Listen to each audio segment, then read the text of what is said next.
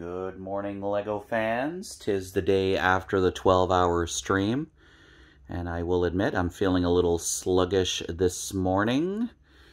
Taking a look at what I built in 12 hours, a little embarrassed. And while we're at it, this is what Zolan built while he helped me out. A Christmas-themed Bionicle.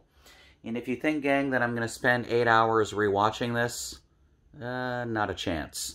The goal this morning is hitting my local Walmart as it has since reopened after three weeks.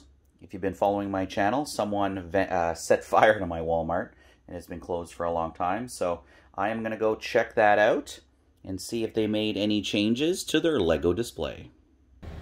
And as you can see, guys, I wasn't kidding that we had a big storm yesterday. I actually spent a bit of time after the stream shoveling my driveway.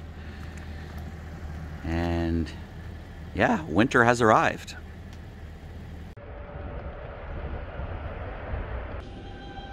So one thing that I am noticing is some of the pre-Black Friday sales are actually still on and that is not happening at the other Walmarts. And they also have uh, some of the newer uh, Minecraft. So that's pretty cool. It's the first time I see an actual display for them. And this is another great deal that's being extended. The regular price on these are actually $80 and not 40 but they still have some left.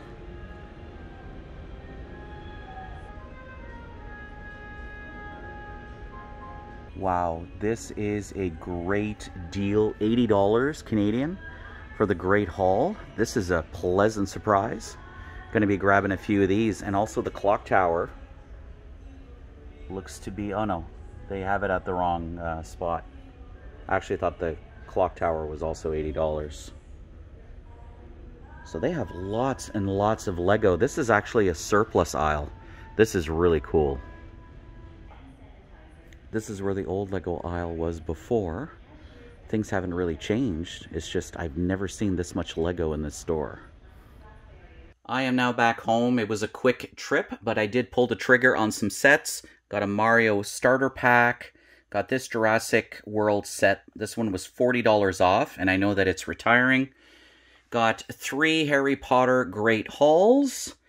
And this creator set that was $15 off, regular $40 Canadian, on sale for 25 So thank you so much for watching this quick Walmart trip. Please be sure to subscribe to my channel if you haven't done so already, and we'll see you in the next video.